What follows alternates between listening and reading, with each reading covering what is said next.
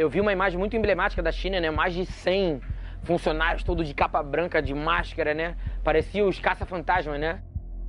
Aquela cena me marcou, né? E eu falei, cara, eu preciso fazer isso aqui.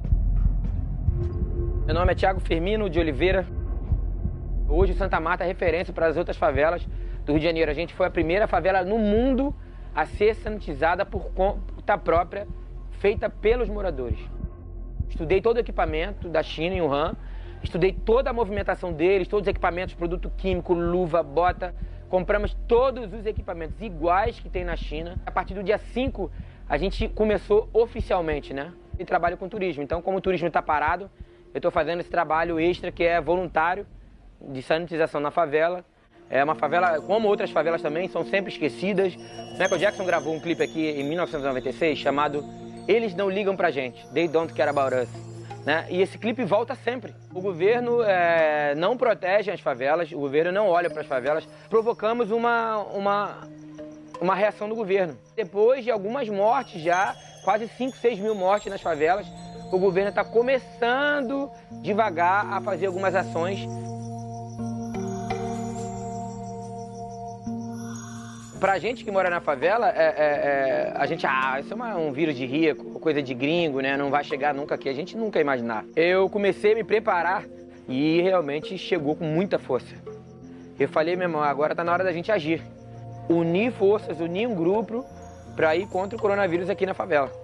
Juntamos 12 amigos, compramos três equipa quatro equipamentos, máscara, luva, é, bota, né, álcool gel, né, álcool líquido, né, a gente faz toda a preparação com os produtos químicos, gasolina, com os equipamentos e é luta.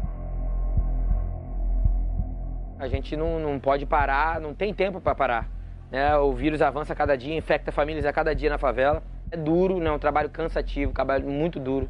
Mas eu sei da importância da, da gente sanitizar. A gente aconselha nossos vizinhos, nossos moradores, é, né, usar máscara, usar luva, passar álcool em gel, né, limpar, deixar a casa sempre bem limpa, é não sair para a rua desnecessariamente.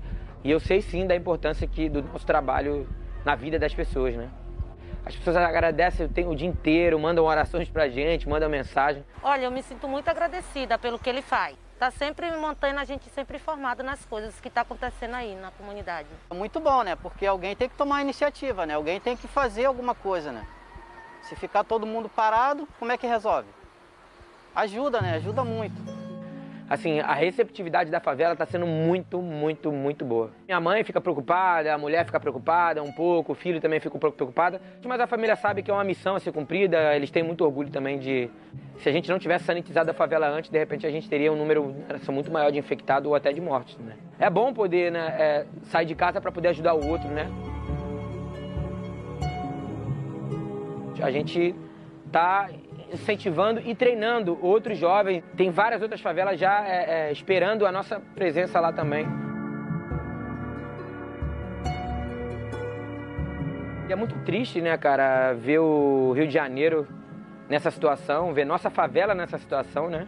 O Rio de Janeiro, especificamente, que é uma cidade completamente turística, né? Ela praticamente acabou, zerou. Nunca vi, nunca experimentei isso era uma coisa quase impossível.